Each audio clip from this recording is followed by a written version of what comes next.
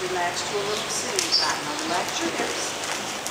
And work on that right heel.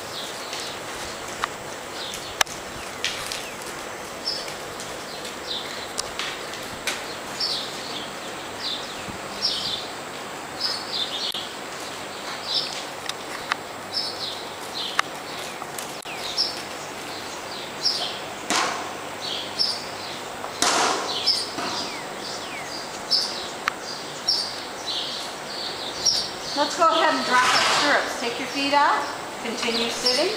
We're gonna go all the way around, no stirrups. Now keep the squeeze from the knee down. Toes point up, heels point down, keep that squeeze. Good. If you feel him slow down, give him a little tap.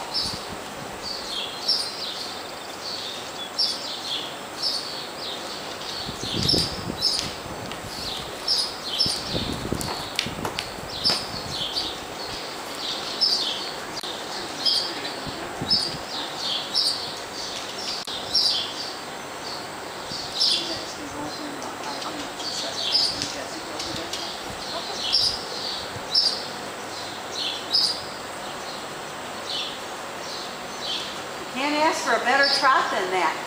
How about posting no stirrups? I love it.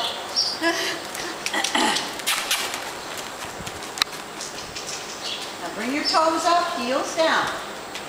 You pretty much want your feet just like they'd be if they were in the stirrups.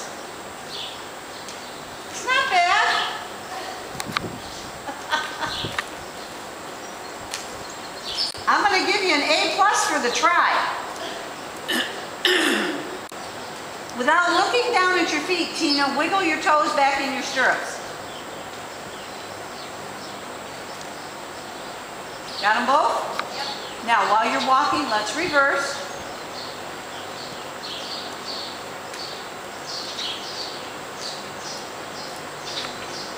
A little more left leg.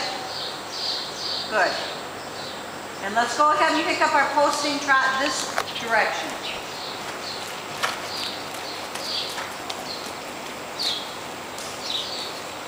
You know, Megan, he looked great the other direction. What happened? I don't know, that's why I left for now.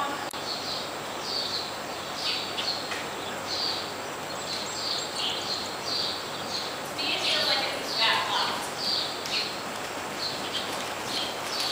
Yeah, that's the problem, that's why he can't it. Right front. Like, so. So that's- Yeah, he's totally off on the left. It's the right front. It's always the opposite. Is it, okay, because when he, he used to hurt himself all the time, it was just be right front, left. Interesting. So, it's always the time.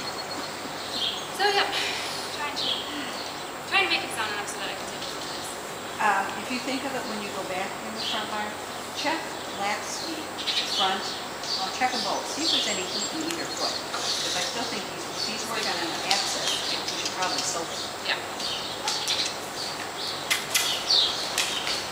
And I don't know, part of his problem is arthritis. Now, keep working on that right. Good. I would probably guess, He's got to get so much time off that if it was